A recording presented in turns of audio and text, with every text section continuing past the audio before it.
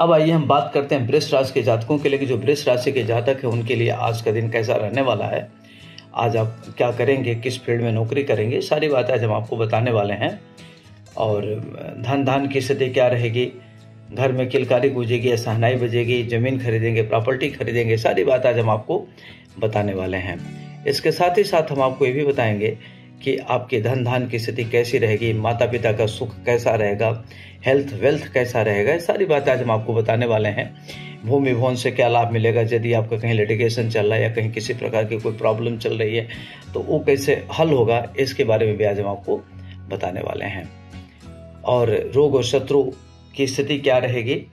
धन धान की स्थिति क्या रहेगी? माता पिता के सुख का क्या रहेगा? मित्रों से क्या सफलता मिलेगी? महिला मित्रों का क्या सहयोग रहेगा? सारी बातें आज हम आपको बताने वाले हैं। इसके साथ ही साथ हम आपको ये भी बताएँगे कि आज आपको उपाय क्या करना है? आपको सावधानियाँ क्या बरतनी है? और आपके लिए आज का शुभ अंक क्या रहेगा? शुभ रंग क्या रहेगा? ये सारी बातें आज हम आपको बताने वाले हैं। अब आइए हम बात करते हैं वृक्ष राशि की। तो जो वृक्ष राशि के जातक है, उनके लिए आज का दिन थोड़ा सा उतार चढ़ाव का हो सकता है। आपका मन अज्ञात कारणों से तनाव में हो सकता है। तो तनाव से बचने की ज़रूरत है और अपनी माली हालत ठीक करने की आवश्यकता है, जो आपकी जिम्मेदारियाँ हैं, उसको भली बात निर्वाह करें। क्योंकि आप छोटी छोटी बात को लेकर तनाव में हो जाते हैं, आपके कॉन्सेंट्रेशन बनता नहीं, तमाम तरह की परेशानियों से अपने को घिरा हुआ महसूस करते हैं। तो इसमें थोड़ा सा आज आपको बचने की आवश्यकता है। कोई भी ऐसा कार्य न करे जिससे आपका मन तनाव में रहे, आपकी परेशानी बढ़े तो इससे आपको बचने की ज़रूरत है।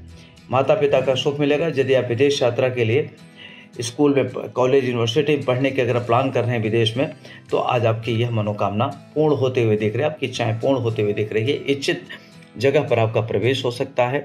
नए तरह के कार्य हो सकते हैं। वो आपके लिए बहुत महत्वपूर्ण है। छोटी छोटी बात को लेकर आपका मन तनाव में हो सकता है तो अपने मन को शांत रखने की ज़रूरत है। इरिटेशन से बचने की आवश्यकता है। और कोई भी नए तरह का कार्य करते हैं तो आप किसी थर्ड व्यक्ति से सेकंड व्यक्ति से राय लेके करें तो आपके लिए अच्छा रहेगा।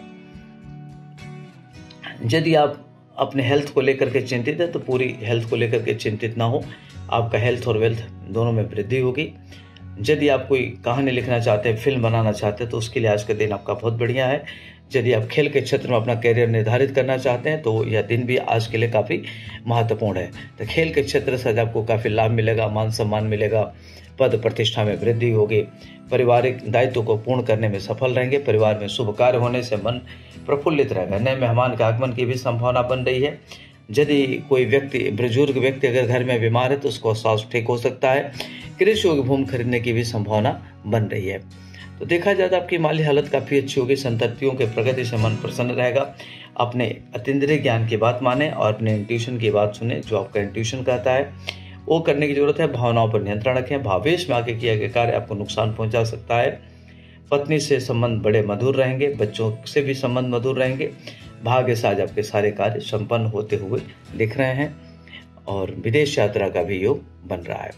आज आपको सावधानी क्या बरतनी है? सावधानी ये बरतनी है कि इमोशंस में आके कोई निर्णय न ले। आज आपको उपाय क्या करना है? उपाय ये करना है कि भगवान भोलेनाथ की आराधना करें, ओम नमः शिवाय मंत्र का जप करें और भगवान शिव की आराधना करें। ओम नमः शिवाय, ओम नमः शिवाय मंत्र का जप करना आपके लिए काफ़ी अच्छा रहेगा। आपके लिए शुभ अंक के साथ और शुभ रंग है दो। हरे कृष्ण।